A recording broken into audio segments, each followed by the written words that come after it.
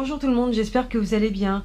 Aujourd'hui je vous propose une vidéo pour réaliser des embellissements sur bâtonnet à glace. Je vous montre un peu à quoi ça ressemble. Donc moi j'ai réalisé celui-ci, celui-ci et enfin celui-ci.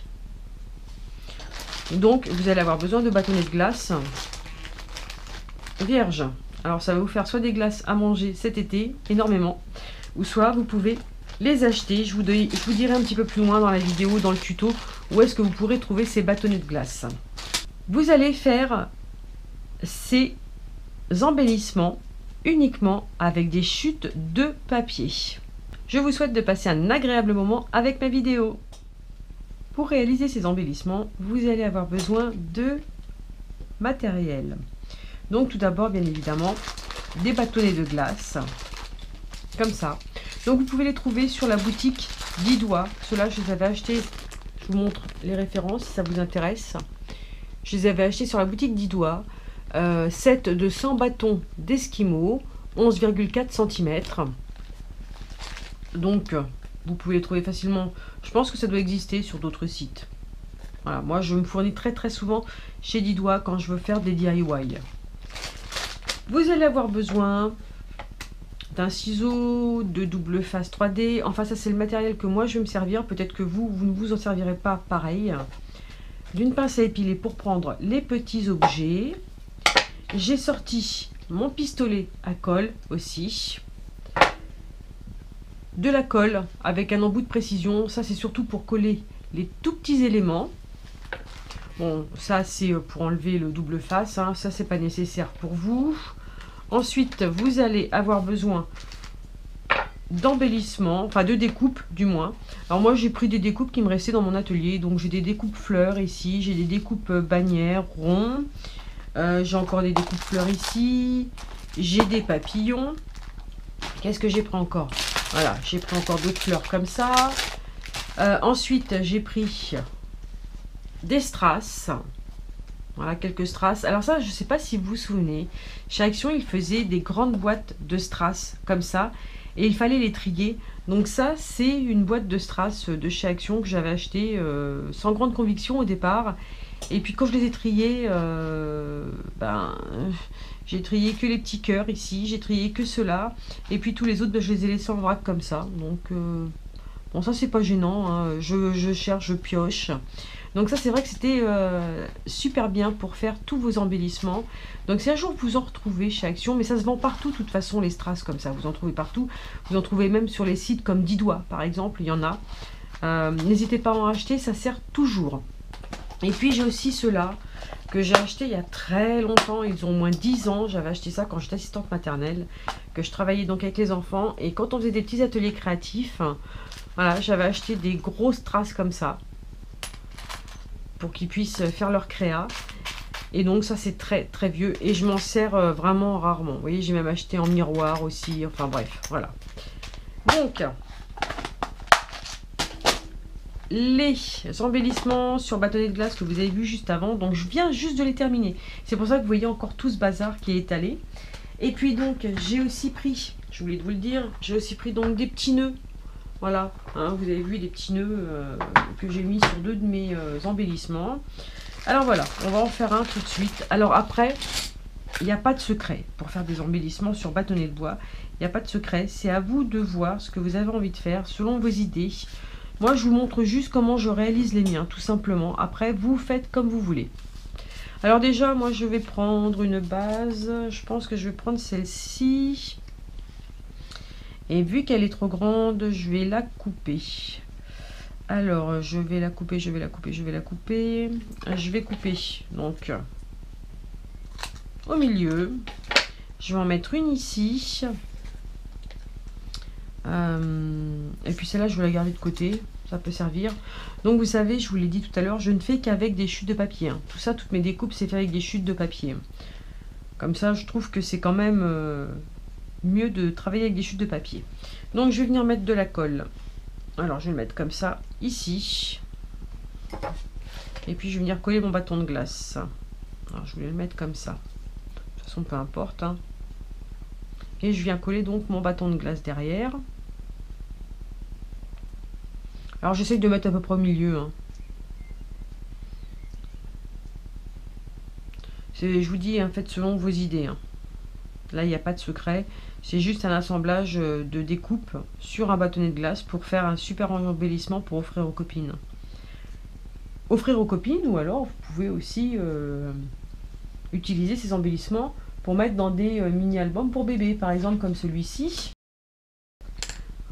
Comme celui-ci, moi je trouve qu'il est super sympa pour mettre dans un mini-album bébé. Voilà. Vous le mettez dans une pochette et puis ça peut faire un genre de... comme si c'était un petit hocher. Vous pouvez faire en forme de hocher, vous pouvez... il y a plein, plein, plein de possibilités. Je trouve ça vraiment génial. Moi, j'aime bien euh, faire des embellissements comme ça. Euh, c'est plein d'idées.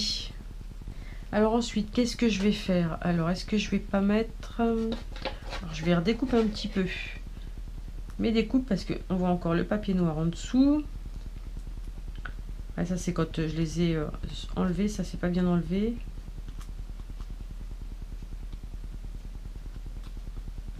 Vous voyez, je les avais fait sur papier noir et ça s'est pas super bien enlevé. Par contre, ça, je vais pas l'enlever, sinon ça va, ça va être gênant.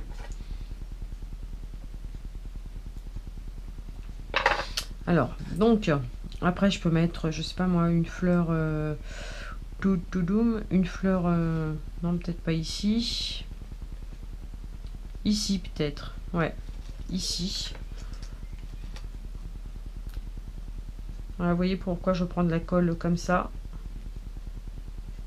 C'est plus précis à mettre. Et puis je vais la mettre, j'ai dit ici. Voilà, puis au moins ça cache un petit peu le papier que je n'ai pas super bien coupé droit. Parce que c'est vrai que je ne l'ai pas coupé super droit le papier.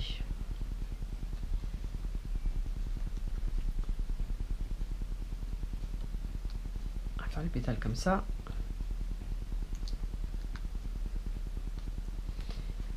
Allez, veux-tu bien coller?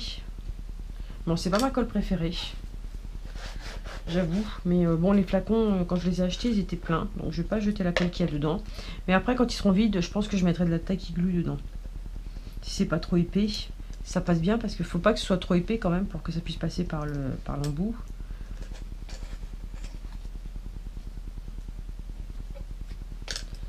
Voilà. Ensuite... Euh,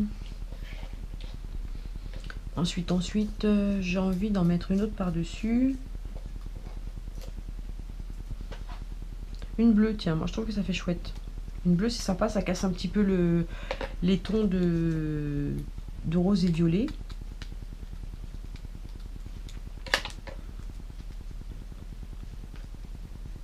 Alors pareil, je vais mettre un petit peu de colle. Et je viens le coller au milieu.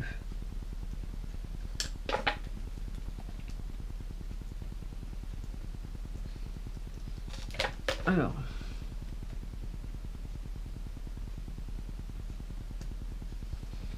C'est qu'elle n'est pas à prise rapide celle-ci, c'est un petit peu embêtant à chaque fois.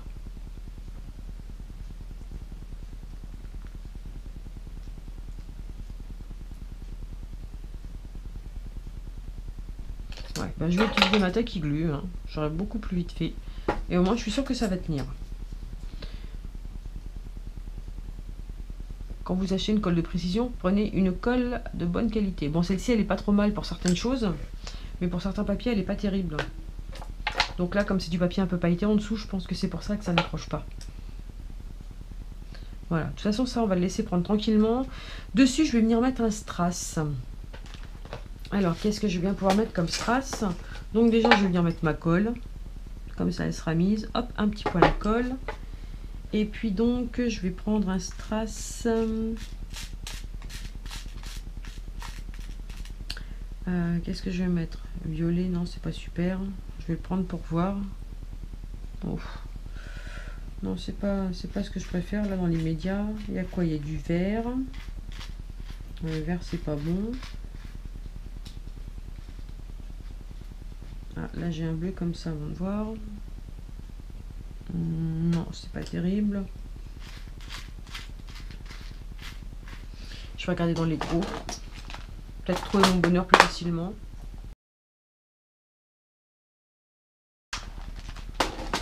Voilà, j'ai trouvé. Je vais prendre un bleu comme ça. Voilà, c'est parfait. C'est exactement ce que je voulais. Exactement ce que je voulais. C'est nickel. Alors ensuite, bah ça, je vais prendre des petites perles que je vais venir mettre. Euh, je vais mettre sur le bâtonnet. Comme je décore le petit bâton, je vais venir mettre des petites perles. Alors pour ça, je vais venir faire des petits points avec ma colle. Normalement, je prends la colle de précision, mais là, euh, honnêtement, j'ai pas envie de la prendre. Elle me, elle m'énerve un petit peu. Et puis, je vais venir mettre des petits strass.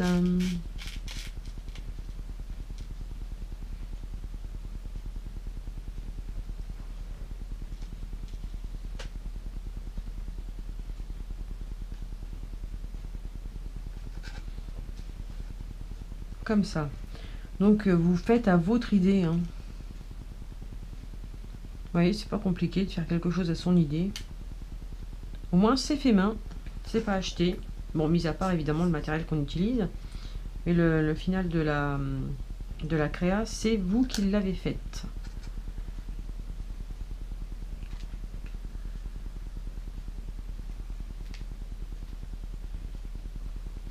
J'aime bien cela aussi. Moi, j'adore les strass. Je m'en servais très très rarement ces derniers temps. Mais c'est vrai que c'est quelque chose que j'aime beaucoup. je vais déjà essayer de mettre un papillon. Parce que j'ai envie de mettre un papillon. je vous ai dit, j'ai des fleurs, des gros papillons. Mais les gros papillons, je ne vais pas m'en servir. Tout simplement parce qu'ils sont trop gros. Alors, je sais pas si vous voyez un peu le truc sont trop gros. Donc je pense que je vais prendre des petits. Alors ça c'est plein de papillons qu'on m'avait offert. Et puis ça c'est un reste de découpe que j'ai. Ah, j'en refasse d'ailleurs. Parce que je n'en ai plus du tout. Alors on va voir quel papillon je vais utiliser. Après vous pouvez prendre des papillons totalement différents de ce que vous avez fait. Ou alors vous pouvez carrément faire euh, exactement avec le même papier toutes vos découpes.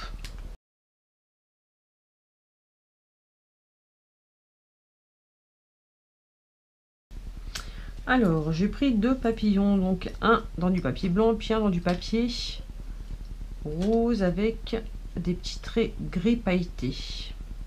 Je vais les rassembler tous les deux. Je vais mettre de la colle. Donc déjà celui-ci, je vais le plier un petit peu comme ça pour pouvoir coller. Oups. Uniquement donc le corps ici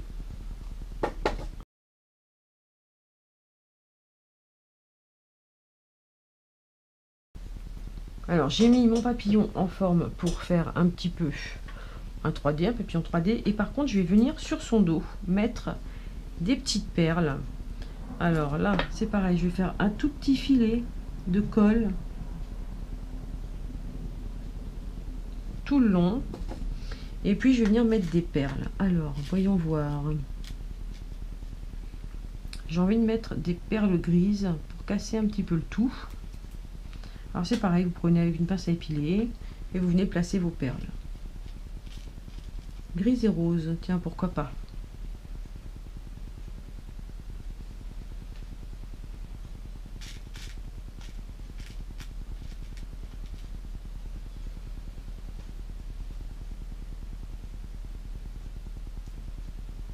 Voilà, comme ça. Alors, n'hésitez pas à laisser sécher un petit peu hein, à chaque fois. Moi, là, je laisse pas sécher euh, suffisamment. Euh, c'est pour pouvoir euh, avoir une vidéo qui soit quand même pas trop longue. Sinon, on va se retrouver avec une vidéo qui va durer des heures. Si je devais vous filmer les vidéos sans faire de montage et sans, sans me soucier du temps, je peux vous dire que ça durerait toute la journée. Donc, et puis, donc, je vais mettre ce papillon.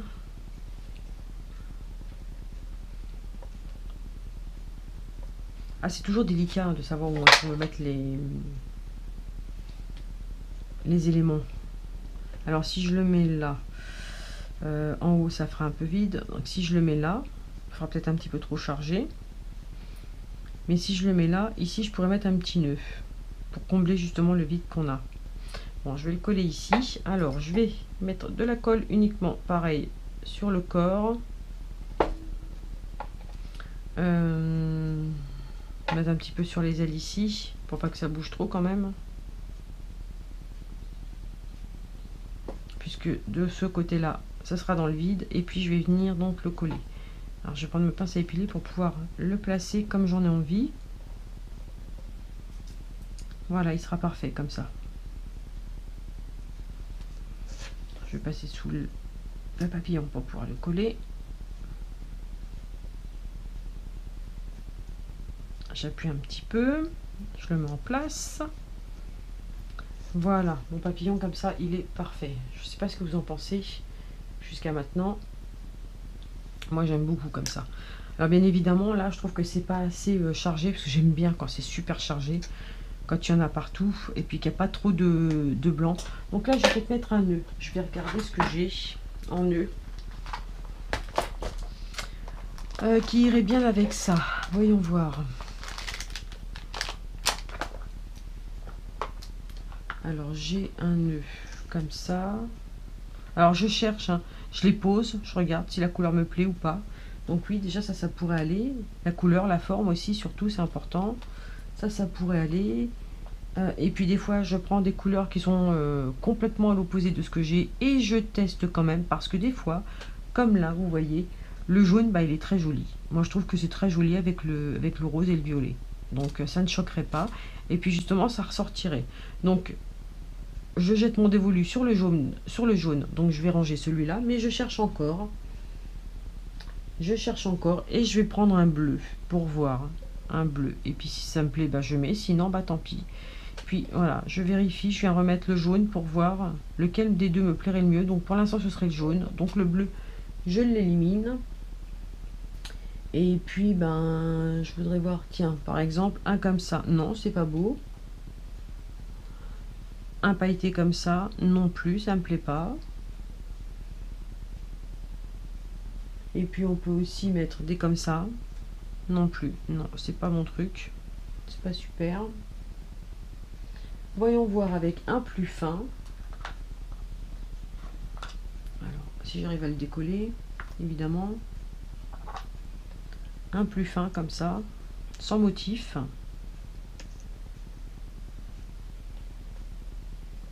Alors ça, ça me plaît aussi. Je vais pousser un petit peu tout ça là.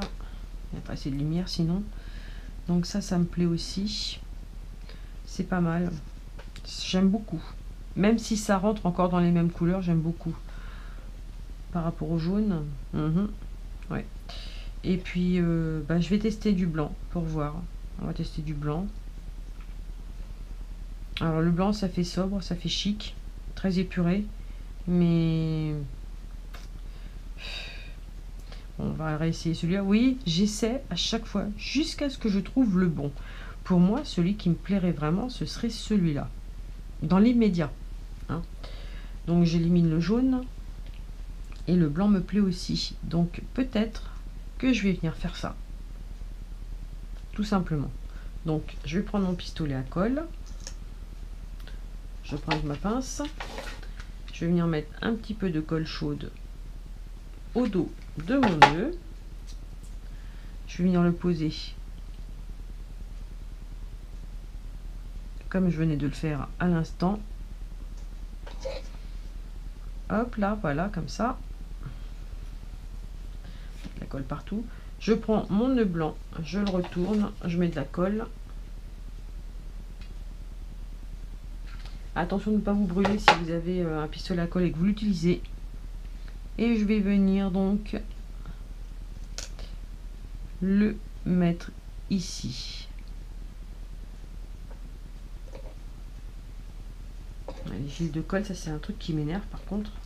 Mais bon, j'ai pas encore trouvé de pistolet à colle qui, qui soit correct. Pourtant j'en ai plein. Hein. J'ai le Bosch, euh, j'en ai plein, j'ai des comme ça. Mais à chaque fois, ça va pas. Le seul que je n'ai pas, c'est celui de chez Action, le gros. Parce que je l'ai acheté une fois il y a très longtemps.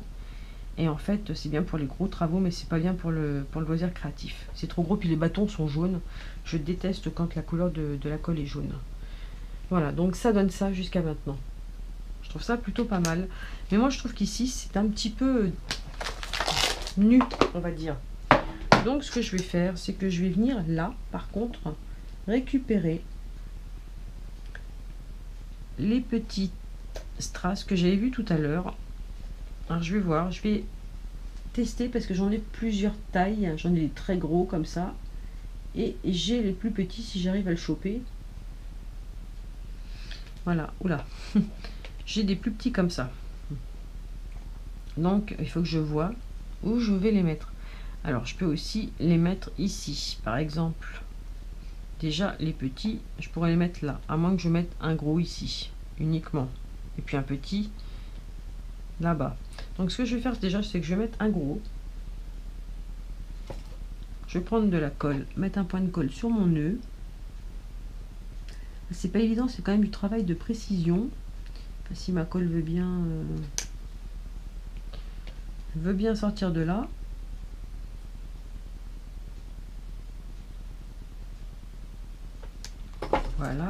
Et puis je vais prendre donc le gros que je vais venir coller ici. Après, le but, c'est de laisser sécher. Hein. Vous placez tout, vous appuyez un peu, vous laissez sécher quelques minutes, vous revenez dessus, puis vous rappuyez un petit peu pour que ça adhère correctement. Et puis je vais voir si celui-ci je peux le mettre là, sinon je le mets pas. Non, celui-là je peux pas le mettre, donc je le mets pas. Et puis ici, entre, je pense que je vais venir mettre encore un autre petit. Il me faut... Vous voyez, des fois on achète des trucs chez Action. on se dit on va jamais s'en servir, on s'en sert pas pendant des mois. Puis en fin de compte, euh, un jour on s'en sert. Voilà, donc ça je vais les mettre ici. Ça rappellera euh, celui qui est sur le nœud.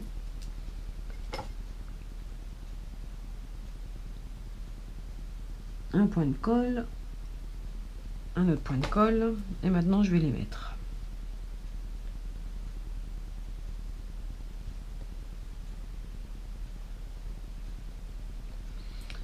Et voilà. Ah, je trouve ça super joli. J'aime beaucoup. Oups, voyez Voilà, donc ça donne ça. Alors ici, je mets pas de petits strass. Euh, sinon, je peux continuer encore un petit peu jusqu'en bas. Hein, pourquoi pas. Et puis, vous pouvez aussi venir mettre euh, des sentiments, des petits mots si vous voulez. Je vais regarder si je peux encore en mettre un pour voir ce que ça donne. Alors...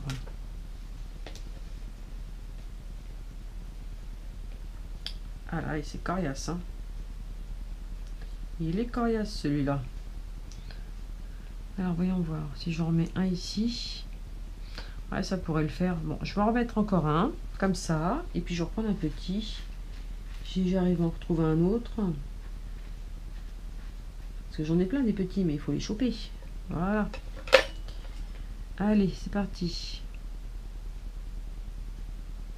Un petit ici et un plus gros là.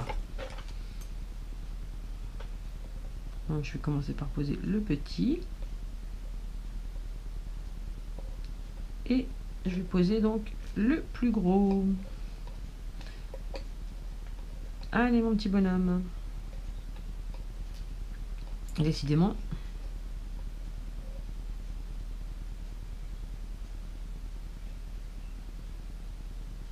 Et voilà.